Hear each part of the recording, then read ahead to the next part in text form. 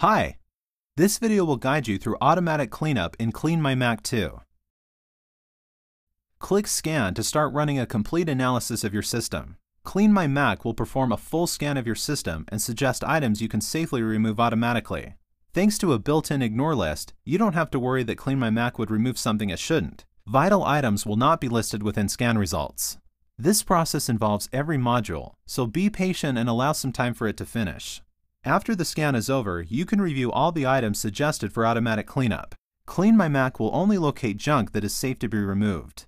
For instance, scan results will not include any of your personal files or vital system items, and iPhoto cleanup results will include automatically rotated and fixed red-eye photos only. Use the Clean button and then proceed to manual cleanup steps.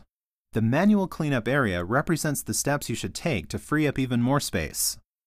System Cleanup will allow to remove even more system and application junk from your Mac. Large and Old Files section will show you big files you forgot about years ago. iPhoto Cleanup will clear out hidden original copies of images kept by iPhoto after you edit your photos.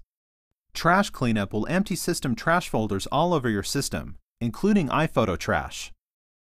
Uninstaller will help you to uninstall applications or reset them to their initial state. Extensions Manager will enable you to remove or disable plugins, widgets, preference panes, and more. Click a module for a detailed tutorial.